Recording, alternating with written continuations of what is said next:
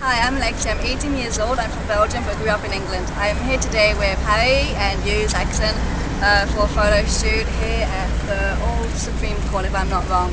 Um, it's going great so far. No other words can explain it. Okay.